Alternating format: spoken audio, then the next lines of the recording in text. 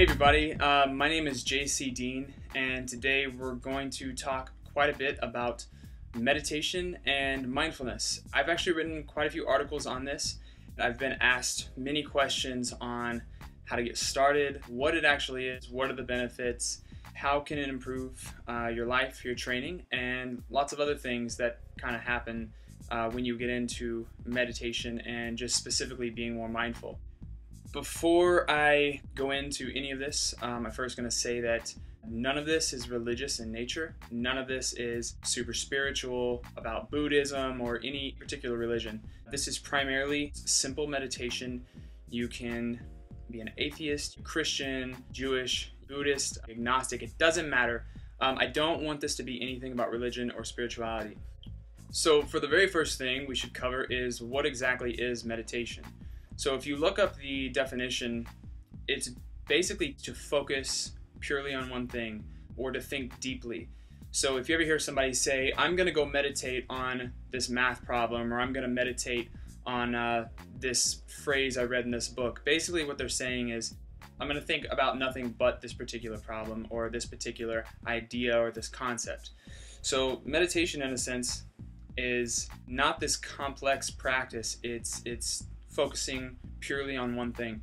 Um, and in fact, you you meditate every day, and it's something that we don't really think about much. But there's all kinds of periods during the day or throughout the week that you might find yourself, um, I say, zoning out. And maybe you're at your job, maybe you're at school, maybe you're laying in bed at night, you're in conversation at the restaurant, whatever it is, and you find yourself zoning out and you you kind of lose focus of everything around you and it's it's almost like tunnel vision.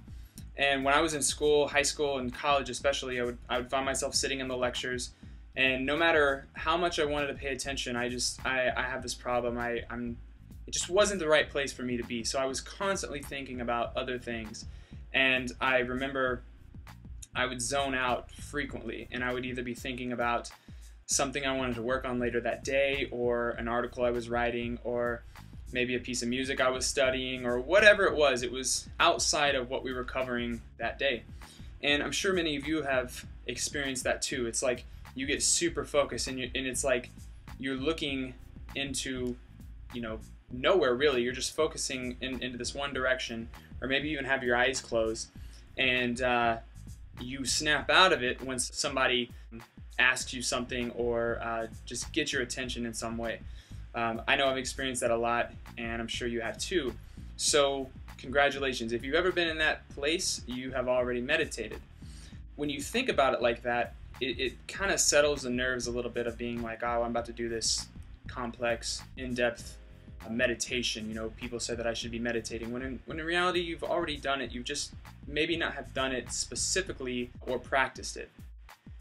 So now that we've kind of covered what meditation is and kind of what to expect and the fact that you've already done it, I want to cover what meditation isn't. So this is really important for you to understand.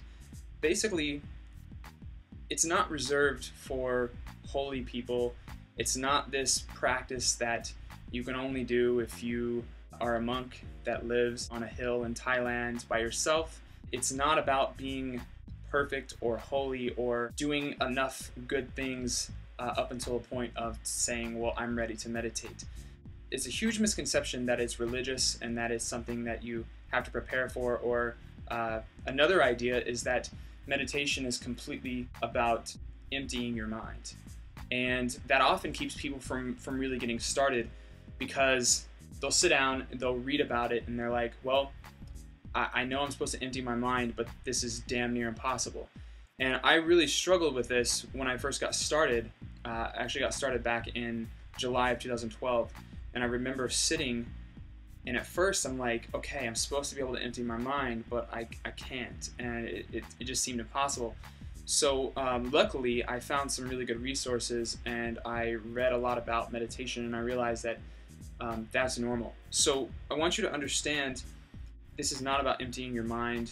Uh, this is not about being a perfect individual or being holy or being religious. So meditation is not reserved for someone who is uh, in a certain place in life. Anyone can do it. Another misconception is that your mind has to be free of thought.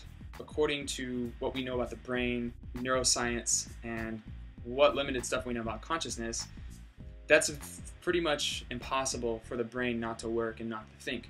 That's just what your brain does. We've evolved over millions of years to be these complex beings and we use our brains. Tons of stuff is going on in your brain constantly just to make sense of the world around you. Even when you sleep, uh, we're dreaming, there's constant uh, stuff that's going on in our heads. So to, to kind of shift your focus away from emptying your mind, meditation is more about just focusing on, uh, trying to focus on one thing. And I'll get more into that as I, as I go through this video and kind of explain how to get started. But usually we want to focus on one thing. One of the easiest things to do is focus on your breath, just counting your, your in inhalation and your exhalation. Or you can focus on something else, like you can focus on how uh, your butt feels on the ground, how relaxed you are. You can focus on even your heartbeat if you can if, if you can focus on that enough and feel it. But what you don't want to get wrapped up on, uh, the idea is that you're failing because you have all these thoughts coming into your head. Because when you're sitting there meditating, and say you're counting your breath, so every time you inhale, that's one, and when you exhale, that's two, three, four, and you keep going. Tons of stuff is is gonna just come into your head. You're gonna think about, you know, what you're making for dinner, when you got to pick up the kids, uh, what you're gonna train today, uh, whether or not, you know, you uh, woke up early enough to get something done and you didn't, and now you got to do it later on. You're gonna think about all these things, and it's great. Like that's perfectly fine, and you shouldn't get discouraged because this is how we evolved, and this is how we have grown to be. We are thinkers the main thing that you should realize is that thoughts are not a bad thing. How you judge those thoughts and what you do with those thoughts will basically determine whether or not you continue your meditative practice. So, to think about it like that, all you want to do is acknowledge the thoughts. Once you catch yourself thinking about something other than what you intended to think about, which let's say we're focusing on our breath and we're counting those breaths. Say you notice that you're thinking about what you're making for dinner once you catch yourself, you say, okay, I'm going to let go of that thought. I'm going to start back over at one, and you start counting again. So I hope you understand by now that that this is not about thinking about nothing, and uh, just because you have other thoughts that you don't want to have, instead of focusing on what you want to focus on, doesn't mean you're screwing up. It doesn't mean it's a bad thing. It's just part of the process. Okay, so the next thing I want to talk about is called mindfulness. And people use this term a lot, and it's pretty simple when you when you think about it. Um, people say, be more mindful of your behavior, be more mindful of your decisions and your choices. Um, that's easy to say, but when you really break down what being mindful is, you kind of have to dig down and, and get to the point of, of realizing, okay, being mindful means a couple things. It basically means focusing intently on whatever it is you want to think about. It means remaining in the present because when you focus on something wholly and you're looking at it, and I say wholly with a W, not with an H, like all of your focus is on that. When you're thinking of, of a certain thing and you're being mindful about it, it should take up all of your attention to where you can't think of anything else. So basically, when I think of mindfulness, all it is is just being aware of the present an idea that I tell a lot of my clients, and, and I've written about this quite a bit. And an exercise I like to use is you go into the gym and you pick a movement that uh, you've done many times, you're super used to doing it, and you're probably so good at it that you don't really need to think about it that much more. Um, think about it that much, you know, as say you, you used to when you were a beginner or when you first started using uh, that particular movement in your training. I like to take something easy that's fun and, and easy to focus on, is like bicep curls or maybe leg extensions, something like that. Something that's easy to do, um, but will you know require you to focus on it uh, deliberately. So what I usually tell people to do is pick a weight that they can do for like you know at least 15 reps, and start doing the movement and focusing on how every rep feels. Focus on how heavy it feels, how your legs are beginning to fatigue, and what's happening as the lactic acid is building up and your and your muscles are starting to get tight and you're uh, maybe even starting to cramp for some people. And the goal is to focus 100% on that. When you can get to that place and you can be really mindful, you can start to take advantage of the things that you do all the time but you kind of take for granted. Another idea is, you know, even completely outside of the weight room, is to go walk in a park. Go do something that you do normally, but make a make a deliberate focus and an intention to put your mind on one particular thing. Something I like to do is like I like to go walk in a park or or uh, sit go sit in a park and just like and like watch the things around me. And what I'll do is is uh, like if I sit in one place, I'll try to pay attention to everything I hear and focus intently on on all the stuff I hear. For instance, like I'll go sit in Centennial Park here in Nashville. And since it's right by the road, you hear all these cars, right? Depending on the time of the day, you might hear the birds chirping. Depending on where you're sitting, you might actually hear people's footsteps as they're running. Uh, you might hear them breathing. So, what I like to do is sit and focus on one of those things. So, I might be focusing on how the cars sound. I might focus on uh, the people's footsteps when they're running on the trail. Or if I'm sitting on the grass and I'm like under a tree, I might try to focus on the wind blowing through the tree and listening to that sound.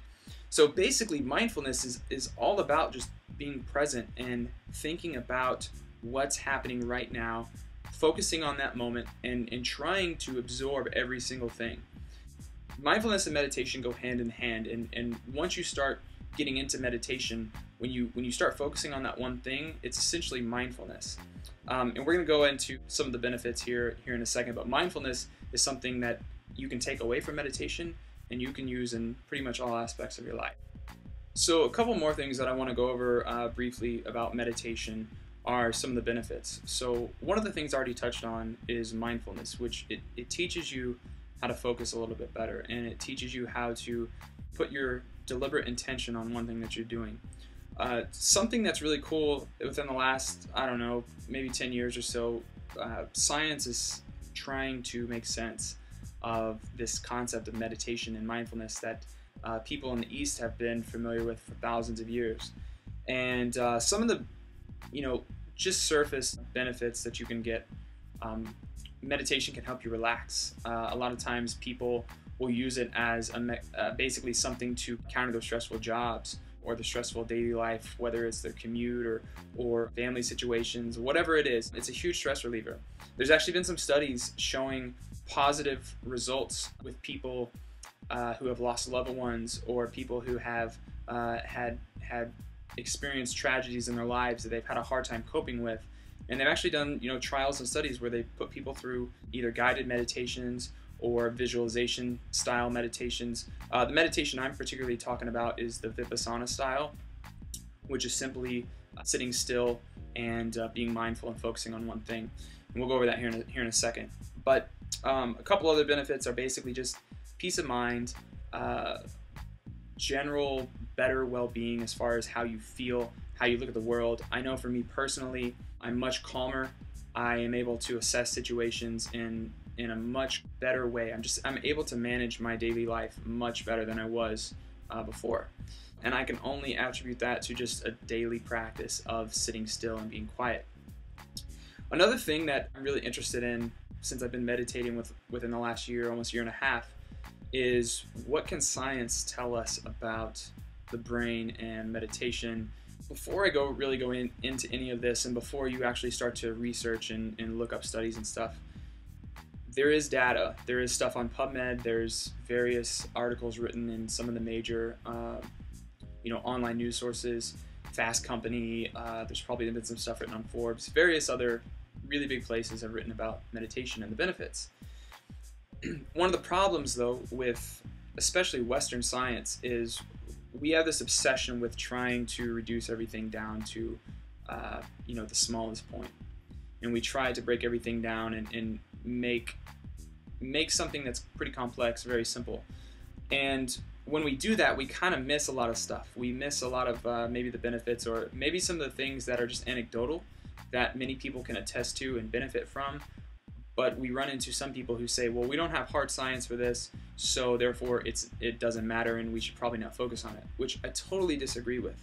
And I mean, I can show you quite a few studies and quite a few trials and all these things that, that point to many of the benefits of meditation and why you should do it.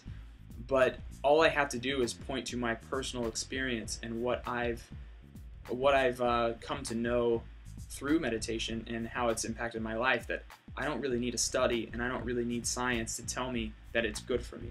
Am I telling you not to uh, look at the papers and telling you to completely disregard it? No.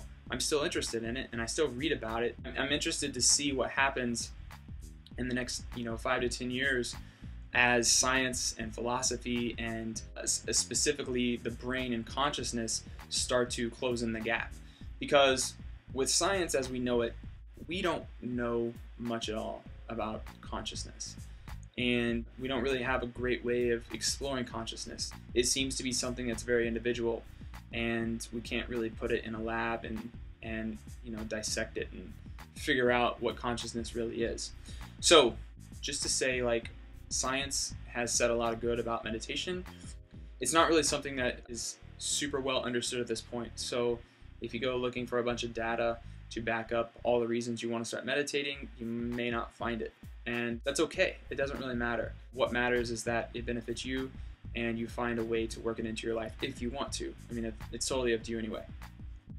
So now that I've covered quite a bit about meditation, mindfulness, benefits, and some of the ideas uh, about the science of, around meditation, now I'm basically going to cover some of the questions that I've been getting asked ever since I started writing about meditation. One of the first ones is how do you get started? Well, it's actually really quite simple. I read a book, and I actually have it right here. I'll hold it up here so you can see it. It's actually called The Mindful Way to Study. It, it, was originally called Dancing with Your Books. They, they revised it a little bit. It's written by Jake and Roddy Gibbs, and I'm actually really good friends with the author's son. And we, we started chatting through fitness stuff a couple years ago. And I actually read uh, the very first edition, and then I read this the this book as well.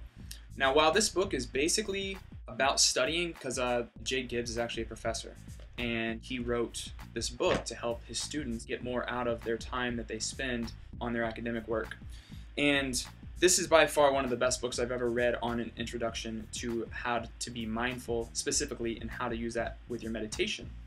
Um, but what I always tell people uh, to get started is to simply just start, just do it, you know, commit. You don't have to start with 30 minute meditations or hour meditations. I mean, I'll be completely honest. Like I'm I'm not up to hour meditations daily. I mean, I'm still working within the five to 30 minutes per day. So what I always tell people is start really really small, and find a quiet place that you're not going to be disturbed. You can sit in a chair. You can sit on the floor. You can sit in a lotus position if you're flexible enough. I'm not. You can sit uh, Indian style with your legs crossed. You you can lay on a bed. It's whatever is comfortable for you. The main thing is is you you don't want to fall asleep. You want to be in a position where you're going to stay alert. Preferably, you want to sit up so your spine is straight and you can breathe comfortably. What I did when I first started was I would set a timer on my iPhone for like three minutes and it would start ticking. It would just start ticking downward. I would close my eyes and I would just focus on my breath. And all I would do is every time I inhaled, I would count one in my mind, and then as I exhaled, I would count two. Inhale, count three. Exhale, count four. And then I would I would keep counting until I would my mind would wander and I would start thinking about other things. And once I started to think about something else and I caught myself in that moment, then I would stop and I would say, okay, my mind wandered. Let's start over with counting my breath. And I would start focusing on my breath again. I would count one, two, three, four, and I would just I would just keep counting. And what I would do is I would focus on how the air felt in my in my belly, and as my belly expanded, and as it contracted, um, I would focus on how that felt. And then, sure enough, my mind would wander again, and then I would have to catch myself, come back to the moment, start counting again, and then the timer would go off, and then I would be like, okay, I did my three minutes of meditation. And over time, I would start to up the intervals. You know, it'd be four minutes in a week or so, I would do five minutes, six minutes, and I actually worked up to a point where I was doing 15 to 20 minutes pretty effortlessly. And I actually had to see a teacher to kind of help me break through that. And if you still struggle after a while sitting, it sometimes helps to sit with other people. So either find a group in your area of people who are meditating. Sometimes you can meet with them like once or twice a week whenever they're whenever they're meeting. And it's basically just for accountability purposes and it's also it's pretty interesting to sit with other people who are serious about meditation. And first time I ever sat for a full 15 minutes was with, with was with my teacher. And I remember explaining to her some of the problems I was having uh, with getting comfortable, or you know maybe I'm sitting in a certain way and my foot starts to hurt. It's a common idea to to try to move and get comfortable, but what you want to do, in, in my personal experience, experience and what I've done, is I would sit there and I would focus on a particular feeling I was having. Maybe my foot was falling asleep, or maybe my ankle was hurting. Instead of moving and getting comfortable, I would focus on that pain. And most of the times, the, the pain would dissipate, it would go away. It was just a matter of me just sitting and waiting. Now, of course, if it's like really painful, you, you know, it's probably not a good idea just to sit there like that. But something to think about, you know, we, we experience so many things in our lives on a consistent basis that we don't really pay too much attention to. We just kind of like move or, or we like, uh, we, we kind of course correct. We don't really face it. Which leads me to another thing that I want to talk about when it comes to mindfulness and meditation in general one of the best movies in my opinion is Fight Club. It's given me an amazing perspective on life. I love the philosophy, and um, there's a lot of really cool things in the movie. Uh, one thing in particular, one scene, if you've seen it, is when the narrator and Tyler Durden they're in this like basement or something in this lab, and they're cooking the fat, and they're basically using it to make soap. The narrator and Tyler are sitting at the table, and Tyler grabs the narrator's arm and he kisses his hand. And the narrator says, What is this? And Tyler poured chemicals on his hand, and immediately his hand started burning. And Tyler says, This is a chemical burn. And this happens in our daily lives all the time. The narrator started squirming and started freaking out, just like all of us would. If, if we held our hand over a fire, or if somebody was holding our hand over a fire and we couldn't move it, we would freak. But what happened was uh, he started to try to escape his pain. The narrator did. He tried to escape his pain and escape uh, what was going on. And what, what was happening in the movie, it kept uh, flashing back, him going to a different place. He was basically just trying to put his mind in a place where he was disregarding the feeling, the pain that he was experiencing. And Tyler would slap him back into reality and he would say, Don't shut this out. This is your pain. This is your burning hand. Focus on this. This is where your life is right now. Don't don't go to another place and ignore this. This is going to teach you a lesson. Now, obviously, I'm not telling you to like inflict pain on yourself, but in your meditations, you're going to find places where you're uncomfortable. You're going to get to a point to where you're like, I don't want to do this because I can't empty my mind, whatever that means. You're going to find that it's to your benefit to actually push through those barriers, those mental blocks. I, I remember when I used to when I when my meditations were getting longer and I was still practicing on my own before I started seeing a teacher, I would set my timer for 10 minutes. And I remember once I would get to like the seven or eight minute mark, my legs would start to hurt. My hips would start to hurt because I'm not used to sitting in, in like the half lotus position. And it, it would really start to bother me. My initial reaction is like, okay, screw this, I'm getting up and I'm gonna call it quits. But I would stop and I'm like, okay, you know, it's only a few more minutes, I can bear this and I can get through it.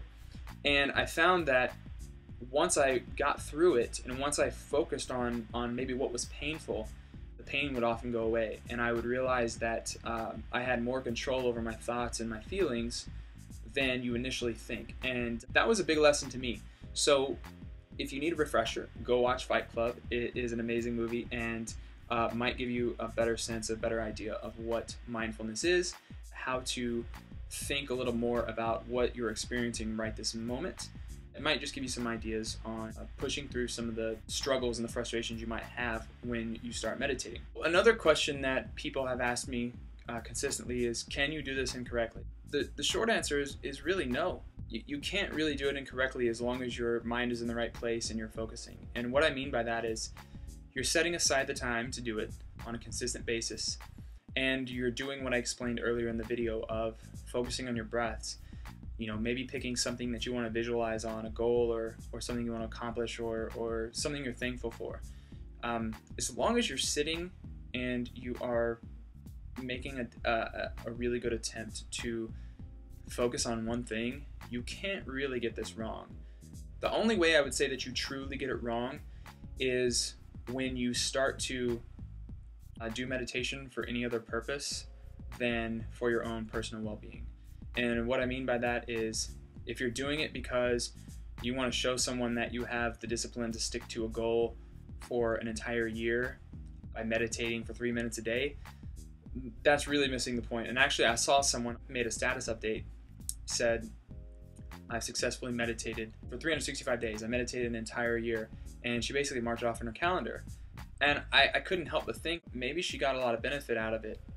But here she felt like this need to broadcast it to the world, said that, oh, I've, I've been meditating every single day, which, which is really great. But it kind of goes back to the whole idea of uh, trying to be perfect, trying to trying to measure everything, and and trying to do things right, and getting frustrated, and um, instead of just focusing on the moment and focusing on actually what you're doing. So I really don't think there's a wrong way to do it. Uh, I think the main thing that you should always focus on is doing it for your own well-being, doing it because you want to, and not because you think that you have to. Because I'm making this video or because I said it can help you with your training, your daily life, or relationships, or whatever. You should always do it for you. The last question that I wanted to cover, somebody asked me recently, was how do you know if you're headed in the right direction? That's a great question, and I think the way that you will really know when you're headed in the right direction is when the practice starts to solidify and you start to realize that when you sit, it's easier to get into the focus that you want to that state of mind that you want to get into. A couple other things I noticed whenever I was really starting to get the hang of meditation was I, I used to lose concept of time. And I remember one time I was I, I got to the gym, I was gonna train a client, and I actually got there a little bit early. I went into the yoga room and I basically got a mat and I sat down and I started meditating. I set my timer for like 15 minutes because I didn't want to I didn't want to go over the time and be late to my session. But I was sitting there and I remember uh, really getting into my breath and counting my breaths, and uh, I eventually got completely lost in the moment, uh, completely lost, and I became transfixed with um, how my breath was feeling against my belly, and that was where my mind was the whole time.